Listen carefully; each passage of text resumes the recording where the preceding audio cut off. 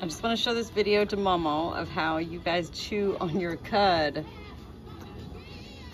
Can you show Mamaw how you chew on your cud? You're chewing on your cud right now. See, there's no food in front of you. You're not in a pasture eating grass. You're laying on a concrete floor and you're chewing, chewing, chewing away. And that is you chewing on your cud, which is like cows.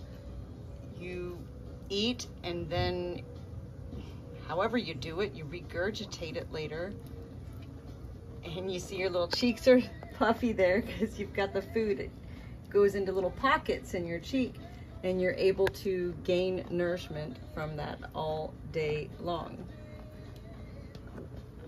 You are so tired looking today, Cash. What's going on with Cash today? You look so tired. Did you have a big day, huh? Is it the weather? What's going on? I've never seen your eyes so sleepy, honey. You just tired today? Johnny just chilling back there chewing his cud.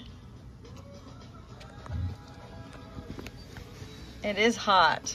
I know that that's a huge factor here for all animals, especially when you have fur and you have hair, wool, whatever you want to call it. Here Johnny still just chewing on that cud. Chewing, chewing, chewing. There's no food in front of him. This is just chewing on what he ate earlier today.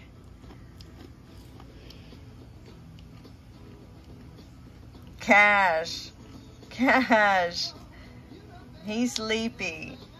He's a good boy. He's such a good boy. He just sleepy today, huh? Look how dirty my hands are from rubbing you guys. That's crazy, right?